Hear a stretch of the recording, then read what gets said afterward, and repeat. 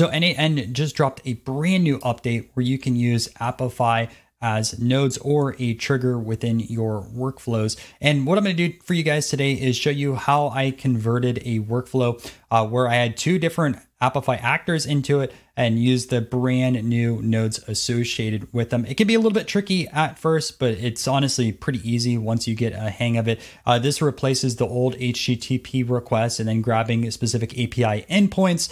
And it's much simpler this way, although uh, you do go from only using one node with an HTTP request to two different nodes, um, which I'll be showing you guys how to use in this video.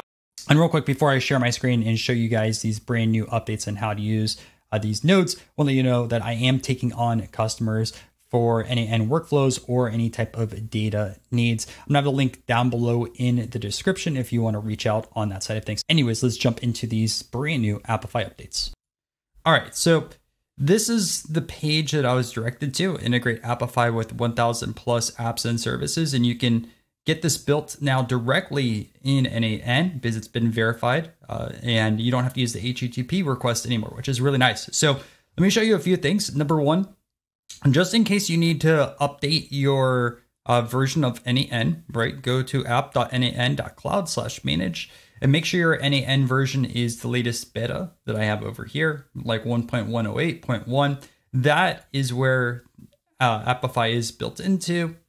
It might be a little bit earlier version, but that's at least what I'm doing uh, here on this side of things. Okay, so let me show you this. Uh, this was actually going to be today's video, and this was an integration that I built where I'm scraping Instagram profiles that use a specific hashtag, right? And I just did a basic 20 and this was used with two different Apify actors. So let me show you what these actors look like. So first, what I have is an initial scraper on this side of things. So I looked up the Instagram hashtag scraper, which was created by Apify, right? $2.30 for a thousand results.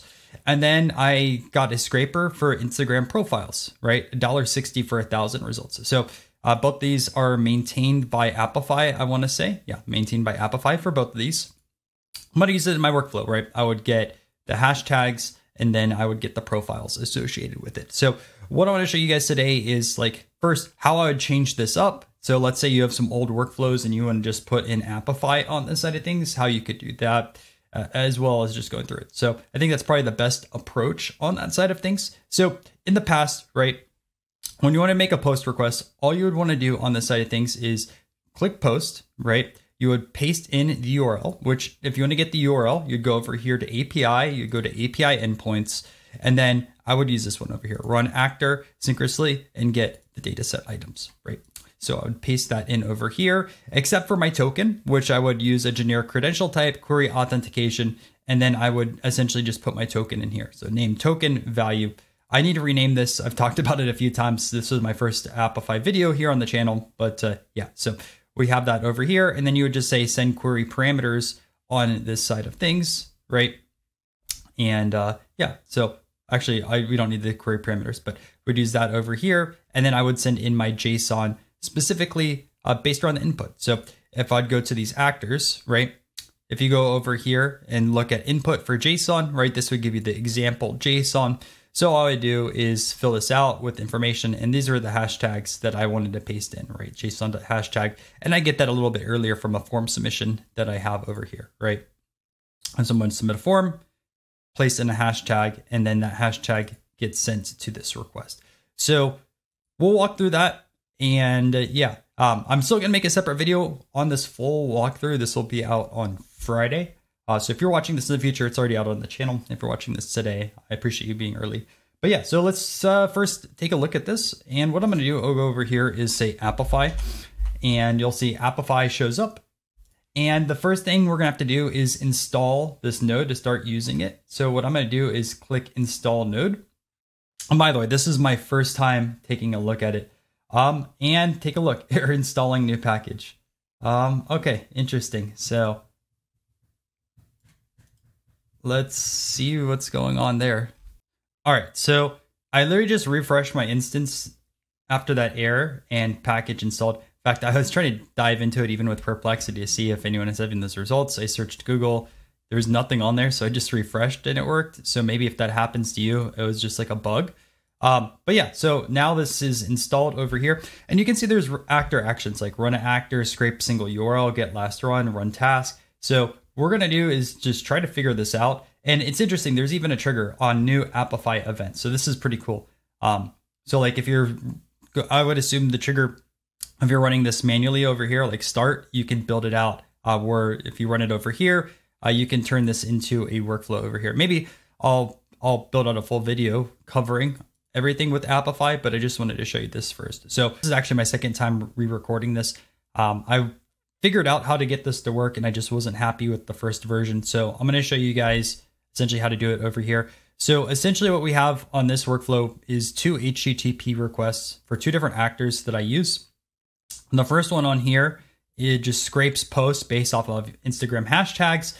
The second one over here essentially goes and grabs profiles based around um, profile information I got from the hashtags. So what we're going to do is use these two scrapers, and I'm going to show you how to use those specifically with the new Apify uh, nodes. So first, I'm going to disconnect this one over here. And what we're going to do is click the plus icon, and we're actually going to need two things from Apify. So the first thing we need to do is we need to run an actor. So we're going to say run an actor on that. So we'll have this over here. Actually, this populated there. And the second thing, after running an actor, you're gonna have to get a data set. So go to Apify again, and then we're gonna go click over here and say, um, get data set items. Okay, so let me explain how to set up this run an actor first. What I'm gonna do is just drag this in over here. I just have a basic form that gets hashtags, right? So I just put in one, for example, non-sports cards. So we're gonna scrape that hashtag for a post. And what we're gonna do is fill this out. Now, few things on the side of things, right? So first, you're going to have to log in with your Apify API key.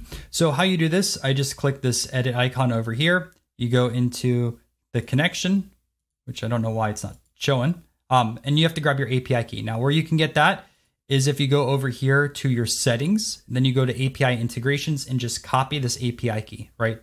So this is the API token created on sign up. So just copy that in and go back over here, paste, and then you should have this showing as success, right? So super, super easy to do. You don't have to deal tokens anymore, um, which can kind of confuse some people. Okay, so next we're going to keep the app operation as re- as run an actor. We're going to keep resources actor, and there's two different ways you can find actor source, right? Recently used actors, or you can go over here and grab a URL. So if you do recently use actors, it'll give you a list, and you guys can see some of the ones that I've recently used. A lot of these are on YouTube videos and whatnot.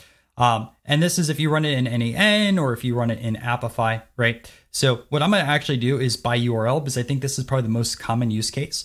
And one thing you have to do, so for example, I'm grabbing this Instagram hashtag scraper. Make sure you're in your console.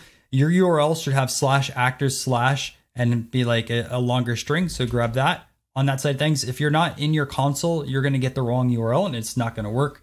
Um, one of those weird quirks I learned really early on uh, doing that this morning. So I'm going to paste this in on here. Okay. Next, you're going to see this that says input JSON. Now, to get that, what we're going to want to do is go to this input tab on here, and we're going to go instead of manual, go over here to JSON. And what I recommend is you just copy this directly, right? And then you paste this in. Now, I actually made some modifications because what I want to do is uh, use this hashtag, right? I don't want to use the default web scraping. So this was just input from a form. So if you've used n8n quite a bit, right, you know that you can just drag and drop.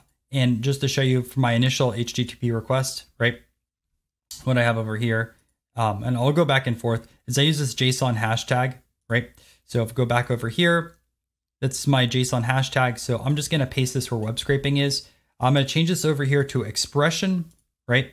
And then just drag and drop this over here. So this makes it more dynamic, right? Which is awesome. So now this will run the actor based off of this JSON hashtag. And let me execute this step just to show you guys. And right initially when I was learning this for the first time this morning, I was hoping that uh, you know it'd give me the results, but it just says, "Hey, this ran. You know, it, it succeeded. Awesome. We got the scraping. Uh, you need to now do the work to get the data set." So uh, let me go over here to the data set, and this is my one complaint so far through the Apify actor.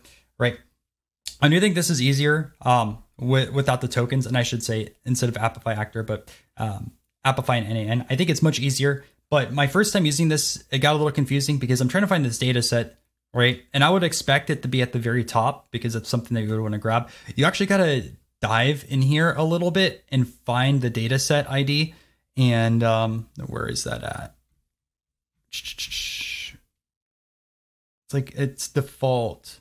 Um, here you go default dataset ID. And you can see it's like hidden. Um, there's a lot of JSON over here. It's hidden all the way here at the bottom. I really wish they put this here at the very top um, just for easy use, right?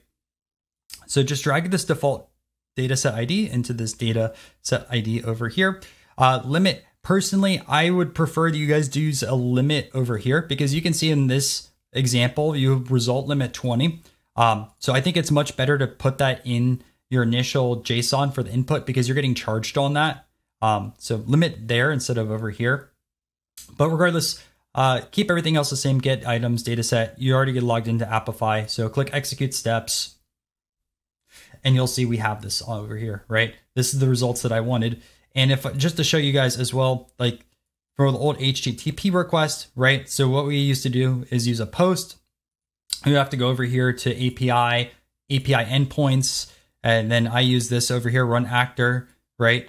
Or I would have to use two different ones, which I've used in some of the older videos. But I mean, the method I just showed you right there is probably the best approach. You would have to use a generic credential, right? You'd have to do a query authentication, uh, set up a token in here, right? And I've covered this in other videos, right? You have your token, your token value and then passing the JSON over here. So now this is broken up into you run the actor, right? And they get the data set ID and just pass this in. So let me just show you one more example of this really fast. So what we have over here a little bit later on in the code is I want to get the profile information from the post that I grabbed over here, right? From the hashtag. So I'm just going to disconnect this and we'll walk through it over here. So this is the scraper I want to use, Instagram profile scraper. I'll have a full walkthrough of this uh, workflow on Friday. But I'm going to click over here to plus, and then I'm going to go over here and search Apify. Unfortunately, like you can't just type in like a data set, right? Nothing shows up on Apify. So you're going to have to use Apify each time. So Apify, Um, and what I'm going to say over here is run an actor. And then uh, wherever that hid, oh, there it is right there. Um, I let's remove you there. Okay. And then we're going to do Apify again and get data set. Right. So just remember, run an actor, get a data set. Okay. So we have both of these over here. What we're going to do now is get that uh, actor. And again, make sure you grab this actor URL. It should have slash actors in it. If you go back over here, right, you say apify.com slash apify Instagram profile scraper, it doesn't have actors. So make sure your URL is actors, right? So we're getting the profile scraper over here. Um, what I'm doing is just gonna paste that in over here. So I just go to the URL, paste that in. Again, you could also use ID or stuff like that. I just find URL the easiest. Next, what you wanna do is go over here to input, go to JSON, copy what this looks like, right? Go back here in n8n, start with this, right? I am going to change this out because I already have my expression that I want to use, right? Because I actually want to pass in a list um, that I dynamically get. So I'm just going to grab this over here. And I know that works because uh, I built this and it worked awesome. Uh, let me just go back over here and we'll just paste that in on that side of things, right? Again, making it dynamic. And then what we're going to do is just execute the workflow through here just to make sure that this is working, right? No other changes that I want. I want to wait to finish so that way it works properly. I'm just going to click execute workflow. Should be successful.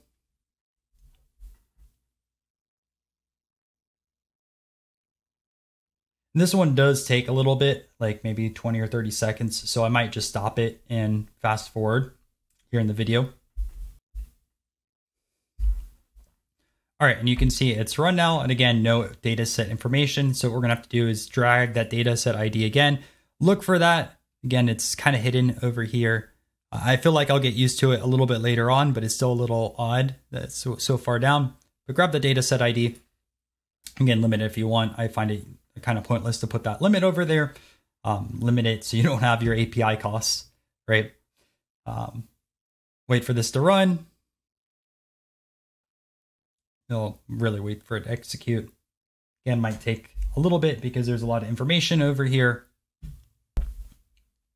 And then you can see this populated over here. So uh, this works on that side of things. I'm just gonna, I should have probably pinned that just so I don't have costs associated with it.